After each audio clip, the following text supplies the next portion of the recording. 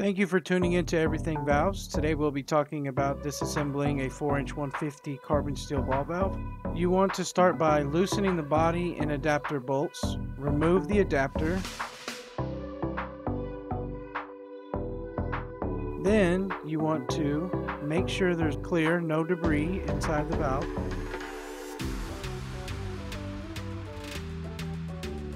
The valve must be closed and stem in this direction to remove the ball.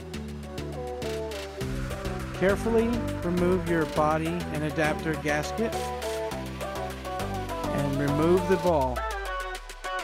You can see it stem slot. Here's the inside of the body cavity. You have the anti-blowout proof stem on the top. You have the seat inside the body. Body gasket groove. On the adapter side, you have the seat insert as well and the body gasket step. To remove the seat, push behind the seat carefully, prying out and remove. You have the adapter and seat, the body, you have the stem seat and body gasket, and the ball.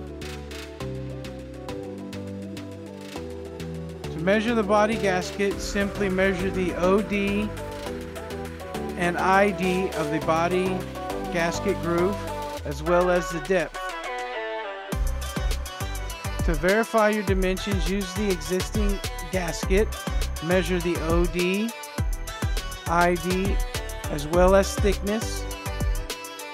Valve assembling,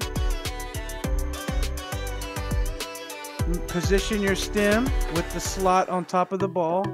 Carefully insert the ball into the stem.